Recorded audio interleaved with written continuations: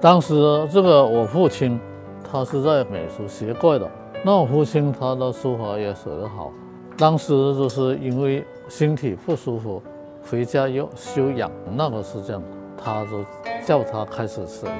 他写字就是在地上写在地上的用砖和红砖啊方砖啊浇水来写因为那个时候这个物物资紧张啊要找纸啊也很困难。他七岁的时候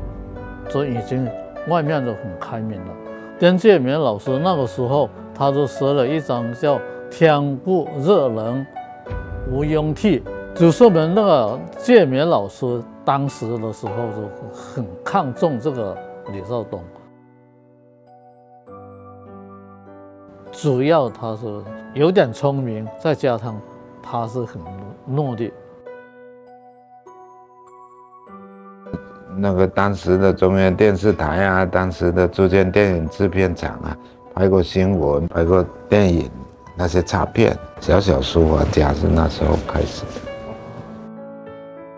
现在想起来，因为人们对于对于所谓天才啊，对于所谓神的，都有一种比较偏神秘的那种联想。但是在我想起来，因为不神，所以神也。就是所以人的诚实而朴实，而真实，这才是神的时候。觉得任何时候时时刻刻